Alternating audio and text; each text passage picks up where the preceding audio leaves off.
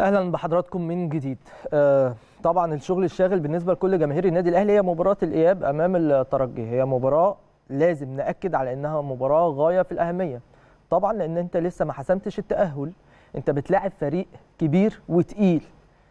ركز في الكلام ده. انت دلوقتي آه كسبت الترجي هناك في تونس عملت مباراة ما فيش أحسن من كده. عملت ماتش كبير جدا جدا وكسبت 1-0 وكان ممكن تكسب أكتر من كده كمان. جونين ثلاثة على الأقل كمان كان سهل قوي إن أنت تجيبهم يعني في المباراة دي.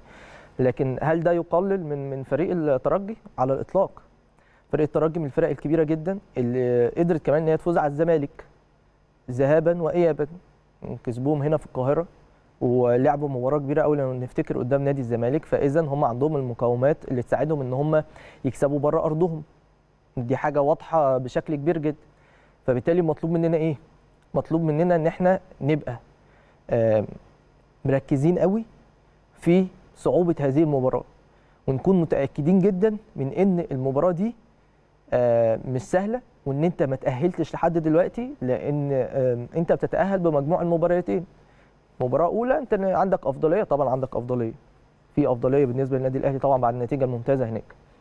آه، لكن الأمور ما اتحسمتش. فمطلوب من اللعيبة مطلوب من الجهاز الفني وأنا واثق جدا إن هم بيفكروا بنفس التفكير ده.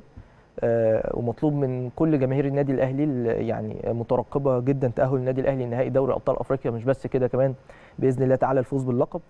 إن إحنا نكون آه، داعمين ومساندين للفرقة. في مباراة هي صعبة جدا.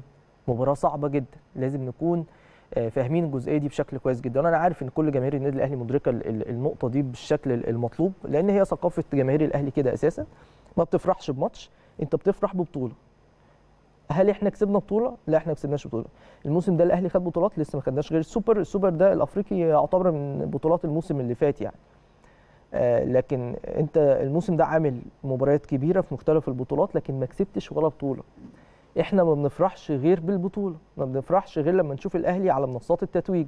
عندنا أمل كبير جدا إن إحنا نوصل وإن إحنا بإذن الله نفوز باللقب ده. لكن لغاية دلوقتي إحنا ما حققناش حاجة. فإن شاء الله كل التركيز من اللاعبين من الجهاز الفني في مباراة الإياب أمام الترجي يوم السبت الجاي. الساعة 9 بالليل على استاد الأهلي والسلام. إن شاء الله بإذن الله نحسم ال- الصعود بأداء ونتيجة جيدة. في كل الأحوال النتيجة هي الأهم. لكن آه، لو أداء على غرار اللي شفناه من النادي الأهلي في مباراة ال- الذهاب فنتمنى كده كمان. ويبقى الأهم إنك توصل للنهائي في كل الأحوال عشان إن شاء الله بعد ما تتخطى الترجي بإذن الله تعالى تفكر بقى في إيه؟ هتقابل كايزر تشيفز ولا الوداد؟ بالمناسبة بالمناسبة. مباراة كايزر تشيفز والوداد آه، برضو ما اتحسمتش. لأن كايزر تشيفز آه حققت نتيجة زي الأهلي كده بره أرضهم آه، على الوداد. المباراه كانت صعبة جدا كسبوا 1-0 بس كان معاهم التوفيق بشكل كبير جدا. هل الوداد قادر على العودة في المباراة؟ في من خلال مباراة الإياب؟ طبعا قادر لأن برضو عندهم فرقة تقيلة وخبرات عظيمة جدا ومدرب بخبرات كبيرة جدا.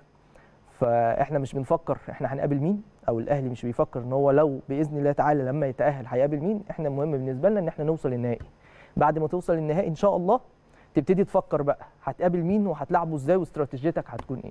فخلينا ناخد الأمور واحدة واحدة حبينا بس إن إحنا نأكد على إن التأهل لم يحسم بعد ووجب ال- الدعم والمساندة والتركيز مع الفريق خلال المرحلة ال- الحالية. آه، حتى الوصول للهدف المرجو وهو التأهل للمباراة النهائيه النهائية بشكل آه، مبدئي وده أمر آه، مهم جدا. ده فيما يتعلق بمباراة الأهلي وال- والترجي مباراة الإياب.